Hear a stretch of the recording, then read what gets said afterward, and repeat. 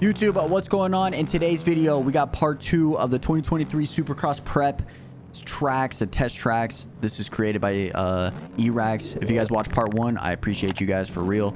Uh, in part two, we're going to go over tracks four, five, six, seven, and nine. Round eight is uh, Daytona, I want to say. I'm pretty sure it's Daytona, um, Yeah. which I have exciting news. He has part two of this series coming out soon because he already has it in the works. Um, I'm going to be testing that tonight for sure. Um, but yeah, this is this is round four. This is going to be A2. This one's actually kind of interesting because look at it crosses over the start. Um, Oh. it, it doesn't really. By the way, this start is the world's longest hole shot. It looks like it's like after it's like a full U. is it really? I'm, well, the line said. You look at the track map. It look. You just go around. Oh my Going. god, it is. It keeps going. It keeps going, Holy keeps going. This is. and it's right here. I did not expect that. Not expect that. That's. Uh oh. See if Freezy can still pull that off. I saw An that. extra uh, corner for him.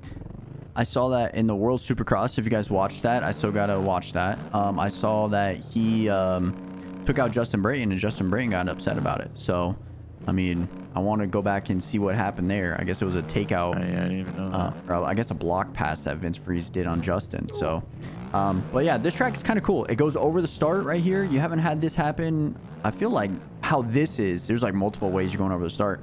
Um, in a while. Um, I just did the same thing I did before the video started. I jumped into these whoops. Didn't mean to do that.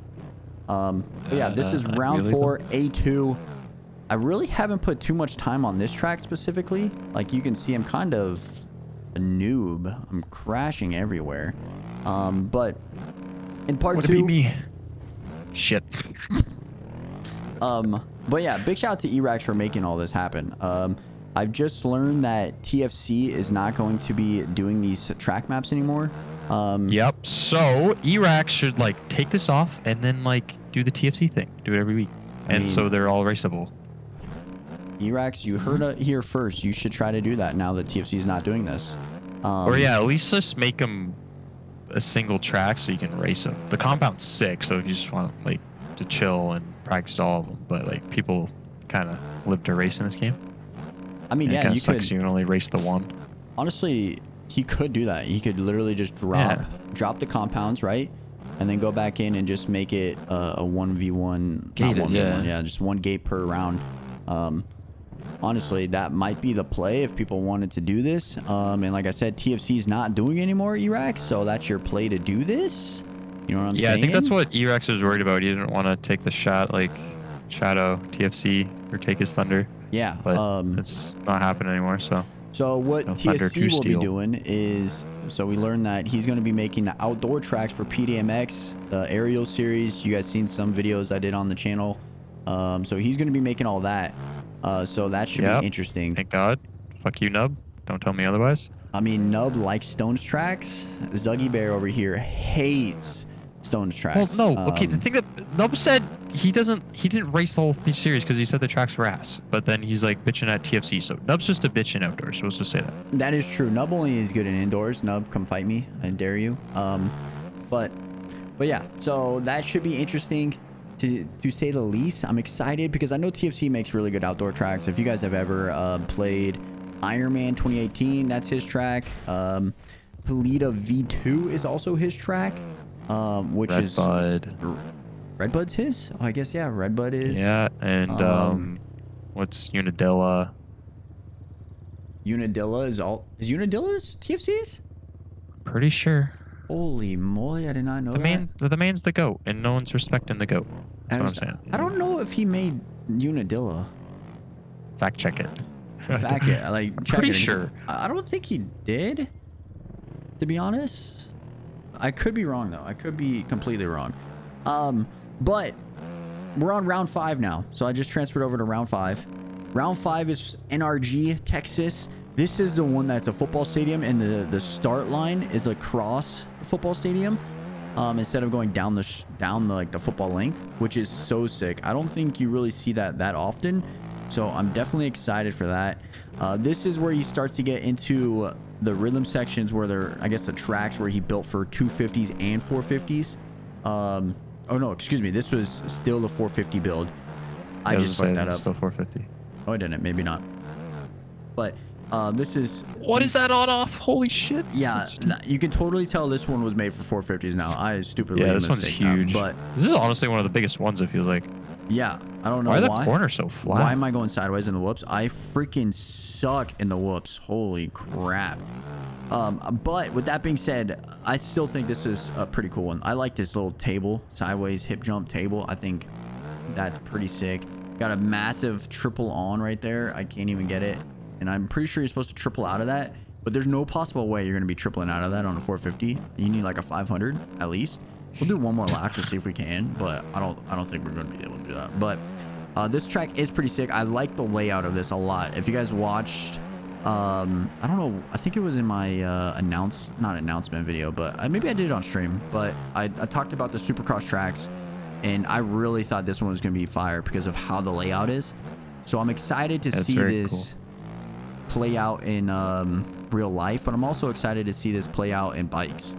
Um, it should be interesting. Zug over here struggling his ass off. But this is definitely one of my favorite layouts for sure. If I can get over that, yep.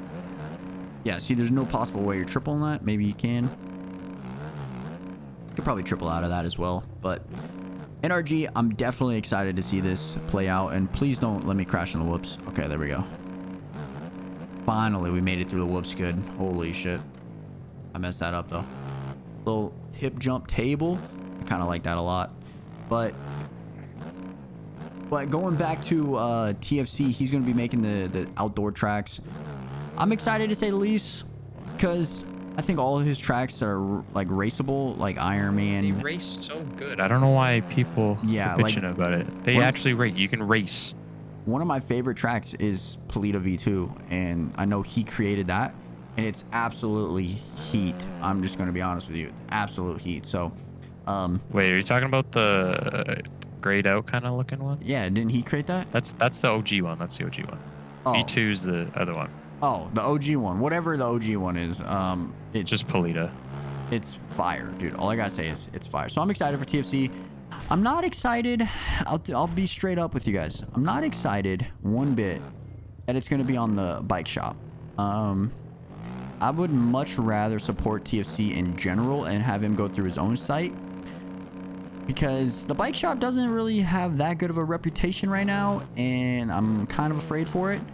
Um, I'm not a lot of people.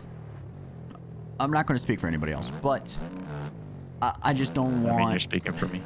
Okay, I'm, I'm speaking for Zuggy Bear, but I'm just going to be honest. I don't like the the bike shop.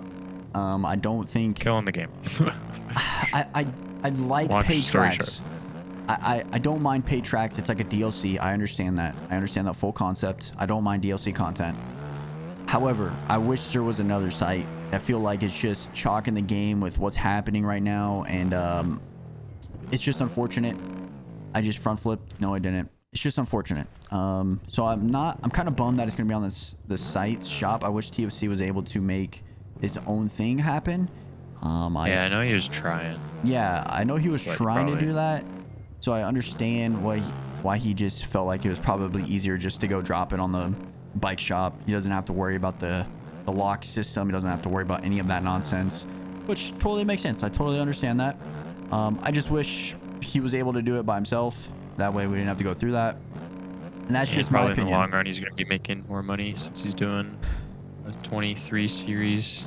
Yeah, and I think if the 23 series goes well, you can definitely see him doing the 24 series and so forth. So Yeah. Um, one thing to say though, shout out to Stone for creating the 2022 series. I know there was a lot of hiccups, um, a lot, a lot of hiccups, a lot of weeks that we didn't do the tracks, but he still put the time and effort to do all the tracks.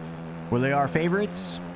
Absolutely not. Hell no. But you got to give it up for his uh, effort and the whole crew over there for just trying to do it every single week. Um, so big shout out to Yeah, those they guys. tried. Yeah, definitely tried. Um, we're gonna move down here to round. We're gonna go back this way, round seven, which is um, I don't even know. I'm gonna be honest. That was Tampa Bay, the track that we were on with the sand. This This one is Arlington over here. Way the hell over here.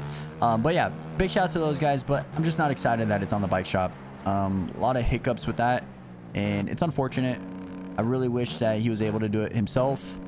Um, figure out a way to do it himself. But at the end of the day, I understand his decision. One thing I would say is I really hope that the next, the future series are paid for this, paid for the, pay for the series and not pay for the tracks. I think that will Yeah. help the game grow. And then you get like a percentage for making the track from the entry fees. I think that would be the play. However, since the since the tracks are going to go on the bike shop, I know that's not going to happen, right? I just that's not how they intended The it. game is too young or too small to already be making people pay for tracks. E- I agree. It's not big enough yet. I think the way that Sim has it is the perfect way to go. Um, Yeah. I've been talking to uh, who was it? I think it was B. He was mentioning me how a sim does.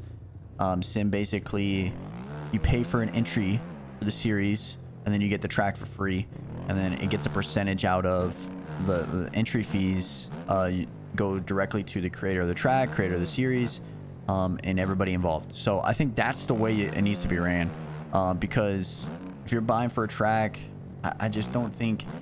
One thing I don't like about it is not everybody's going to want to buy the track first off. And then for say content purposes for like lobbies and stuff, like for streams and stuff like that, like newbies that want to just join up, they don't want to spend money on tracks, right? That we want to ride. They want to have fun with everybody that's involved. And they want to have fun doing it for free. Um, that's why I think the free model and donating is ah shit I messed that up. And donating is like the best play in this game so far. Uh, I think that's like the best way to go because every new player is not going to go buy a track or buy a compound um, for any price. It doesn't matter what it is. If you're new to a game, are you buying a DLC?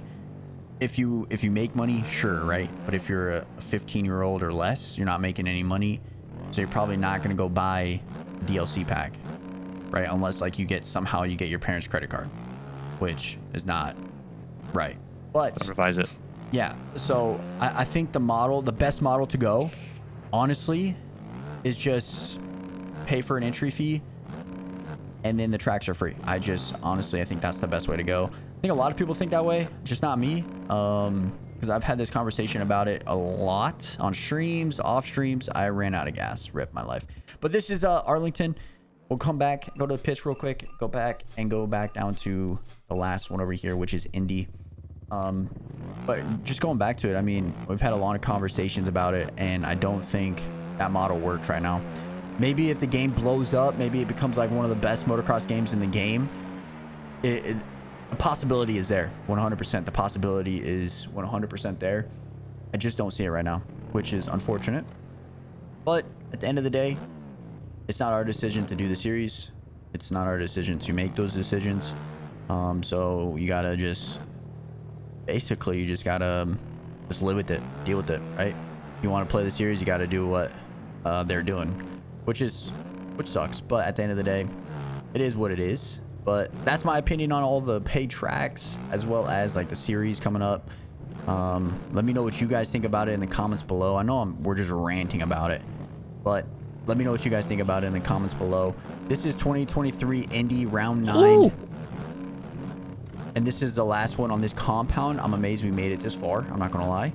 But this is the last one on this compound. You guys might find this familiar because Fat Muppet actually just dropped one as well on this track. But and we're gonna make a we're gonna try to make a video on that one as well. So, um, but I want to say big shout out to Eraaks for allowing us to ride this early as well. I keep saying as well. I gotta stop that as well. That's just that was on purpose. But big shout out to Eraaks for uh, dropping this as well. Oh my god, I almost said it. Big shout out to Eraaks for dropping this. It's a lot of fun. As I really I really enjoy the compound. Um, I think it gives us a variety of things to do with it. So many different tracks. I'm excited for part two, which you guys will see eventually. But I'm definitely excited for part two. Uh, I was excited for part one. This one's awesome. So big shout out to Eraaks um, and everybody involved. If you guys want to support him, make sure you guys go to the link in the description below. Um, hopefully he has a PayPal on this so he can get some donos because he definitely deserves it for putting time and effort into this. So I'll try to I'll try to see if that link is there. I don't know if it is, but just just in general, big shout out to Eraaks. Big shout out to Zuggy Bear for hopping in here with me, uh, Yes, making this sir. video, ranting about different random shit. Um, and uh, I hope you guys enjoyed it. Hope you guys have a great, wonderful day. And we'll catch you guys back here in the next MX video, MX Bikes video, um, and the future of the content. I don't know why the hell I said future of the content. makes absolutely no sense. But I appreciate you guys for real. Much love. I'm out.